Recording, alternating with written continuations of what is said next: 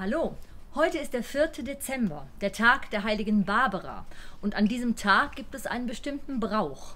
Und den wollen wir Ihnen heute vorstellen. Und dafür stehen wir hier gerade auf meinem Hof sozusagen und öffnen diese Hoftür, was eigentlich ein großes Hoftor mal früher für den Gartenbaubetrieb war, um ein wenig zu sehen, was für ein Paradies sich dahinter verbirgt. Ich lade Sie also ein, mir zu folgen.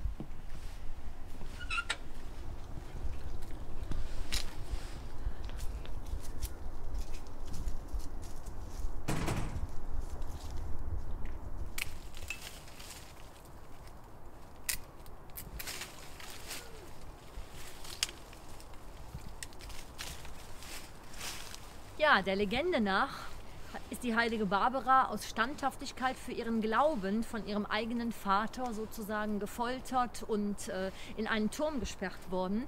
Auf dem Weg zum Gefängnis ist sie mit ihrem Gewand an einem Zweig hängen geblieben. Diesen Zweig hat sie ins Wasser gestellt und dieser Zweig hat der Legende nach an ihrem Todestag das Blühen begonnen.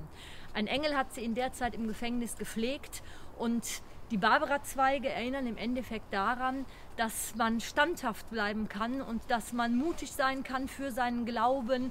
Und die Zweige in ihrem Blühen sollen uns im Grunde genommen an Weihnachten, an der Geburt Christi, an diesem Glauben erfreuen lassen.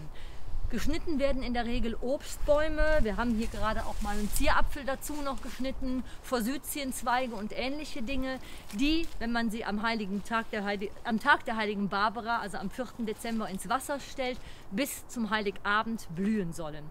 Natürlich sind Kirschzweige so das Schönste, was man in die Vase stellen kann. Die blühen dann wunderbar rose, aber Forsythien und mit dem Apfel dazwischen sieht also auch wunderschön aus. Mein Strauß Barbara Zweige ist jetzt geschnitten. Die Zweige stelle ich jetzt also in eine Bodenvase und werde mich jetzt schon mal an ihnen erfreuen und Weihnachten hoffentlich an wunderschönen gelben Forsythienblüten mit den Äpfeln dazwischen.